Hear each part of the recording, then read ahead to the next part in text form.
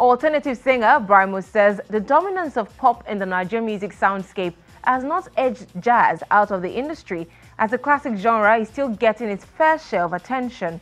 The Aya crooner who released his sophomore album Osho earlier this year is urging young music acts to explore other genres including jazz rather than join the pop bandwagon. The future of jazz in Nigeria is bright and um, Nigerians are amazing people, so jazz music will survive here. It will always be here.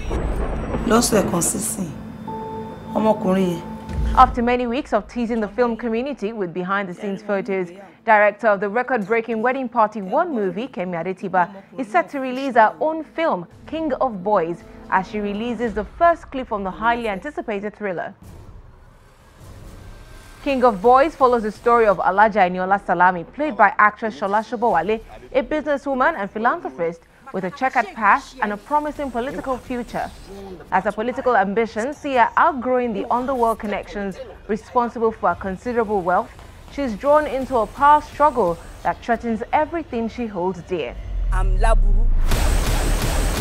God's worst punishment in a person.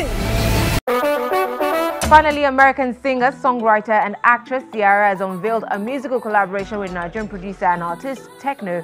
The Level Up star shared this via social media where she revealed the cover art of the Afrobeats inspired project entitled Freak Me. So local, put it down on the African boy. So?